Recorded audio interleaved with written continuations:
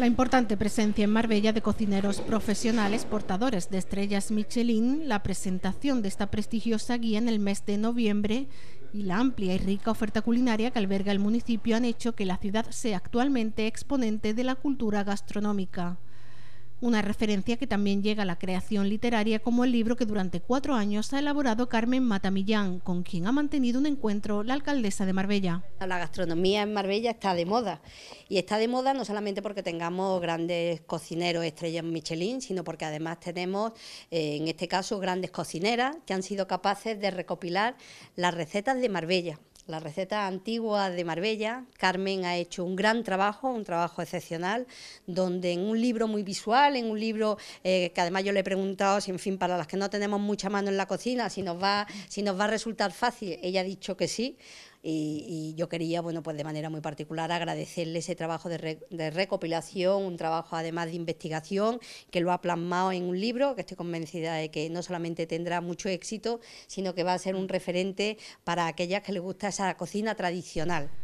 Bajo el título Cocina Popular de Marbella de ayer y de hoy, este trabajo recopila recetas de antaño, platos elaborados por nuestros mayores que desde ahora quedarán plasmados en este libro.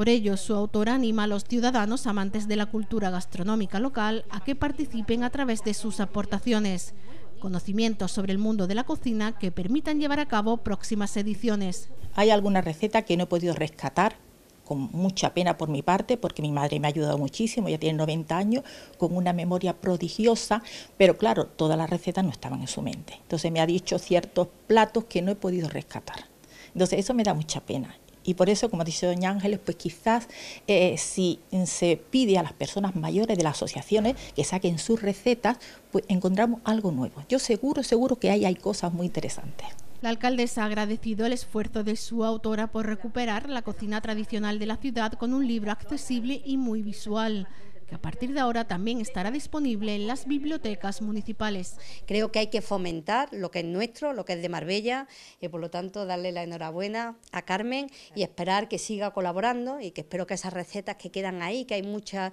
eh, personas que a lo mejor no han dicho todavía cuál es su receta y que no se puede perder, pues que seamos capaces de animarlas y que podamos seguir haciendo pues más eh, ediciones como las que se ha hecho en, este, en esta primera sobre la cocina de ayer y hoy en Marbella. Un libro de gran valor para el que su autora ya piensa en publicar una edición bilingüe.